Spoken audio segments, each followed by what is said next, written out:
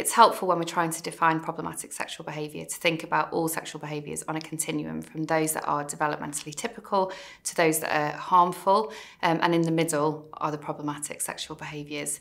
Um, in my experience, professionals find them a little bit harder to define. It's much easier to say whether a behaviour is developmentally typical or harmful. Um, and that can lead to kind of a decrease in confidence around recognising those behaviours.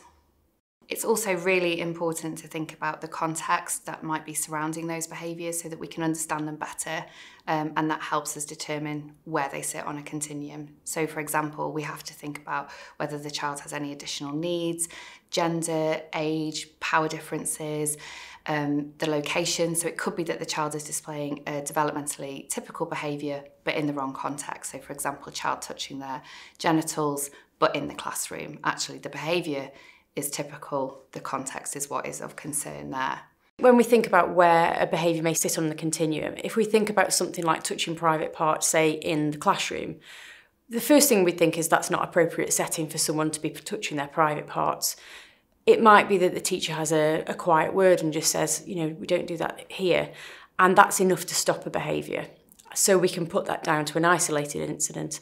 However, if that behaviour continues and continues despite trying to distract them into other activities, that might be something where we have to start being concerned about, well, why is that child doing that behaviour?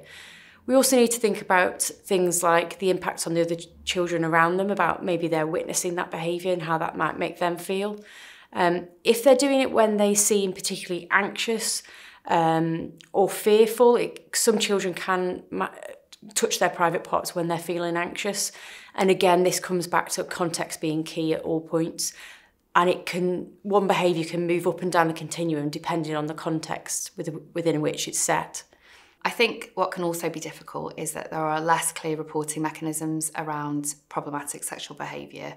So, generally speaking, in our legislation, policy, and guidance, the threshold for reporting um, for external support is around harmful sexual behaviours and not necessarily around problematic sexual behaviours.